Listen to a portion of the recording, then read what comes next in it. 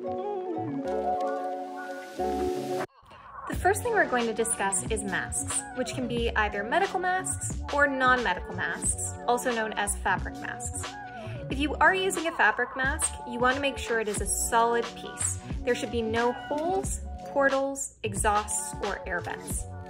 When you're ready to put on the mask, the first thing you want to do is wash your hands, either with uh, hand sanitizer or with soap and water. When your hands are clean and safe to raise to your face, you're going to grab the mask by the ear loops and secure around the ears. Make sure the mask is pulled under your chin and over the nose. And some masks will have a thin wire over the nose, which you can pinch to form a seal.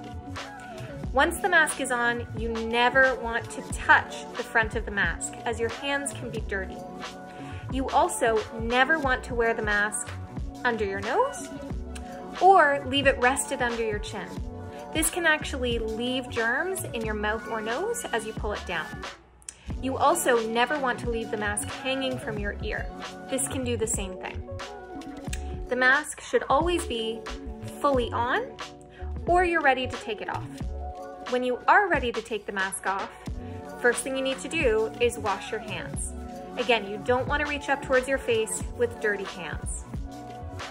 When your hands are clean, grab the mask by the ear loops and pull away from yourself and store the mask in a clean, dry place, which can be as simple as a dedicated baggie for the mask.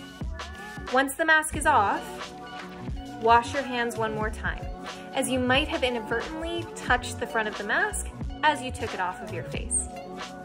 If your mask is a fabric mask or a cloth mask, you should wash it every night, and you can do this just by throwing it in your washer dryer, as high heat as possible.